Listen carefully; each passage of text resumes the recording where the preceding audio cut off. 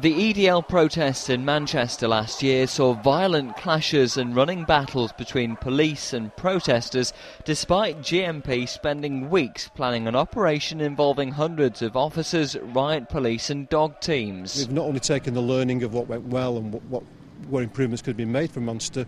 I've been liaising with colleagues up and down the country since October uh, and indeed was in London a week last Friday to look at an event in London and I've taken learning from that. We've put it in place here and this is all around trying to uh, do everything we can to facilitate a peaceful protest and at the same time demonstrate that we want we will be visible that we want to give reassurance to our communities uh, and that we've got their interests at heart as well. Now though there are fears of similar trouble in Bolton as preparations are made for a similar protest on Saturday. Already the council's written to parents of school children warning them it would be unwise to venture into the town centre at the weekend. Pubs have also decided to stay closed or restrict their opening hours to avoid any of the worst violence. Yeah, we realise that people will have concerns. Local businesses have had concerns. We've sought to reassure them about how thorough our planning is.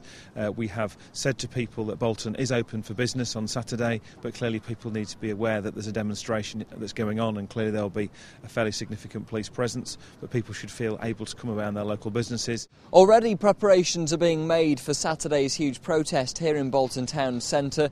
Barriers are being put up around the town hall steps. A barricade will split Victoria Square in two, separating the EDL and UAF protesters, and fencing will be put up around the War Memorial and shops in this square to avoid any members of the public being hurt if violent clashes do kick off. If we have the numbers, then I think we will have safety.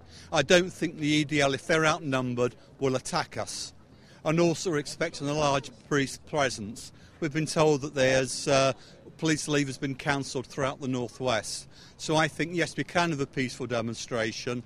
We're going to have it well organised. Our aim is it for it to be peaceful. Our aim is for it to be noisy but peaceful. Say no to the EDL. Conservative estimates suggest 3,000 protesters in total will be in the town centre, but the UAF already predict over twice as many will be involved. And despite them insisting their demonstrations will be peaceful, it seems the planned protest is already causing conflict. I was born in this country. I was born in this country. I've got birth certificate. Michael Billington, Channel M Today.